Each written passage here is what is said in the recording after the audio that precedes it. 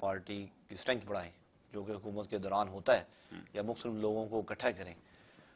उसके बजाय मुख्तलिफ़ लोगों को टारगेट करके पार्टी में इनफेक्टिव किया जा रहा है और ऐसे लोग जो खुश आमदी के बल बोते पर आगे आना चाहते हैं वो ज़्यादा सूट कर रहे हैं मुझे तंजीम को। बरतानिया में या पाकिस्तान में? बरतानिया के आपने पूछा? मैं अभी रिसेंटली हमने वहाँ स्कॉटलैंड में मुस्लिम लीग का एक ऑफ़िस खोला। मुस्लिम लीग नून की नुमाइंदगी करते हैं बरतानिया में या बिल्कुल करता हूँ जी। आला क्यादत से आपका रबता बिल्कुल खत्म मेरा बिल्कुल आला क्यादत से रबता है। थर्सडे को मियाँ नवाज़ शरीफ साहब से मीटिंग भी हुई थी। उनकी तमारदारी भी की गई। हम सब लोग वहाँ बैठे। अल्लाह का शुक्र है कि मियाँ साहब की अब तबीयत जो है वो बहुत बेहतर है।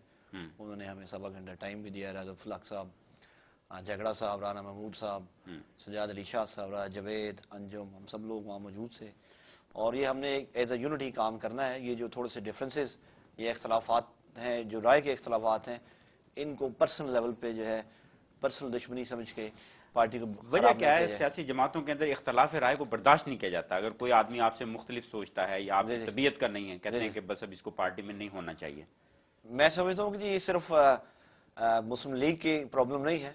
आपने जैसे देखा कि अभी इन्होंने खुद बताया पीस पार्टी में भी इशू है। इसके अलावा कोई भी पाकिस्तानी जो है वो किसी किस्म का क्रिटिसिज्म सुनने को तैयार नहीं है।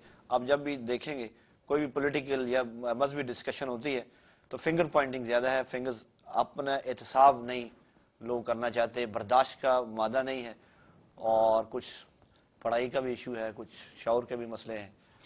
ये फरमाइए कि इस वक्त पंजाब जो पाकिस्तान का सबसे बड़ा सूबा है उसमें मुस्लिम लीग नून की हुकूमत है। और मुस्लिम लीग नून वफाक में एक हिजब अख्तलाफ की बड़ी जमात या हिजब अख्तलाफ के तौर पर गिनी जाती है। इसका जो तर्ज सियासत है हम्म। आप समझते हैं उसकी वजह से आने वाले दिनों में हम्म।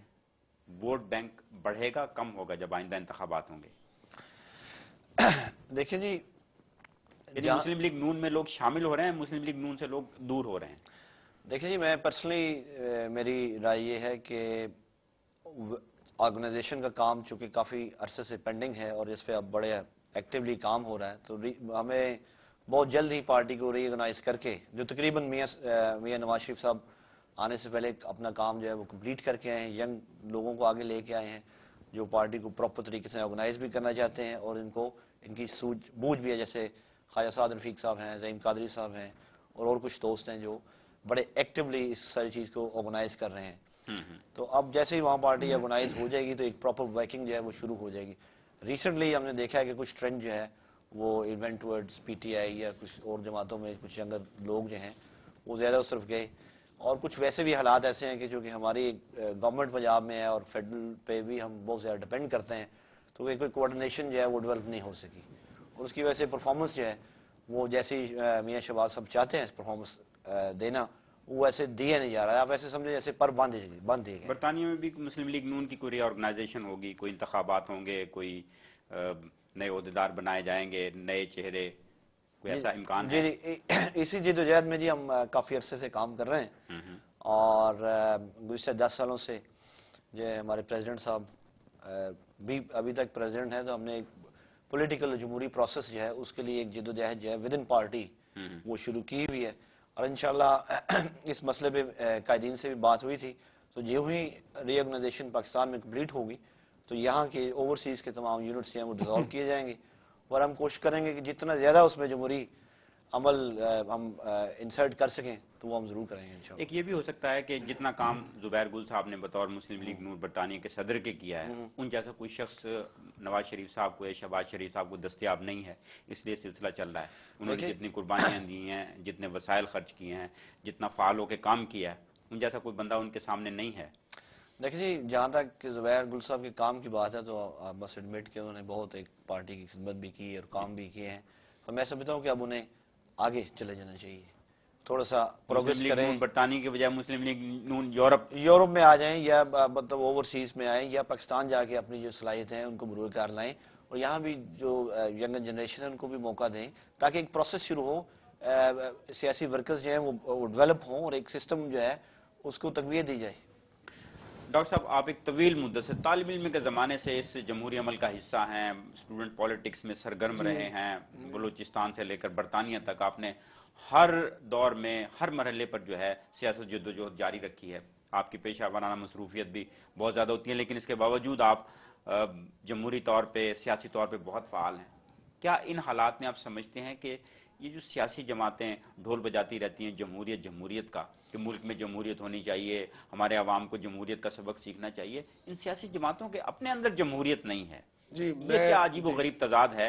यानी हम दूसरों को दर्श देते हैं कि जमहूरियत होनी चाहिए लेकिन उस सबक को खुद पढ़ने के लिए तैयार नहीं है। जी मैं मैं हम पहले से तैयार रखते हैं कि जी। मोहतरमा नहीं होंगी तो ये होंगे जब ये नहीं होंगे तो बिलावल साहब होंगे बिलावल साहब नहीं होंगे तो फला होंगे। ये क्या सिलसिला है? मैं अर्ज़ करूँ हमारी जो कौम है एज ए कौम अभी तक वो इतनी मेच्योर नहीं हुई। जिसको कहते हैं शऊर जो अवेयरनेस का भुट्टो साहब ने शऊर दिया था वो कहाँ गया? भुट्टो साहब ने जो शऊर दिया था उसको गारत हो गया फौत हो गया। जी जी मैं उसी तरफ़ आ रहा हूँ। हमारी ऐसी मैं पहले अर्ज़ की थी कि इतनी बदकिस्मती है कि अभी तो प्रोसेस शुरू हुआ था और जाबिर जयाउलक आकर उसने ऐसा शब खून मारा कि वो जो आप अभी बात कर रहे हैं कि जो शोर सर मेरी नहीं बड़ा क्राइसिस में रहे हैं। पाकिस्तान का अगर आप हिस्ट्री देखें और भुट्टो साहब का क्राइसिस देखें उनको चलने नहीं दे रहे थे। जो मुखालफी थे और जो प्रॉब्लम्स थी और जब सिलसिला चला आ रहा था। ये जो हम सर रहते हैं चलने नहीं देते। कौन? अमरीका एजेंसियाँ मुस्लिम लीग सर ये मेरी गुजारिश कौन लोग? आपने खुद ही जवाब दे दिया। फिजान साहब आपने खुद ही कहा कि अमेरिका आपने खुद ही कहा कि मुखालिफ जमातें आपने खुद ही कहा कि इस्टेब्लिशमेंट इन सब का बड़ा रोल रहा है और रहेगा और रहता है हमेशा। अब आप यही देख लें। अब देखिए पीपल्स पार्टी की हुकूमत है मखलूत हुकूमत है या उनकी अक्सरियती जमात है। सदर उनका है वो खुद वज़ीर आज़म है फौज मुदाखलत नहीं कर रही है। अपोजिशन भी किसी हद तक अच्छे कामों में कोई रुकावट नहीं डाल रही है। अब क्या अमर माने मेरी कौन सी चीज़ है जो। अवाम के मसाइल हल करने मेरी, मेरी से रोकती है? मेरी अर्ज़ सुने। गुजारिश ये है कि जो प्रोसेस है वो मैंने कहा ना कि कंटिन्यू नहीं रहने दिया। जयाउलक साहब की मेहरबानियों से ना इतना एक स्पेस आ गया। किसने रुकावट डाली? सर इतना गैप आ गया।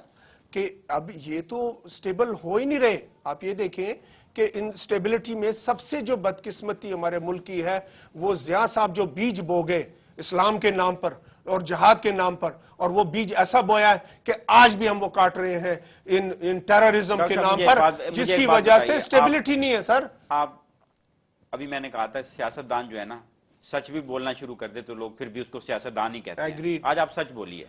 आप ये बताइए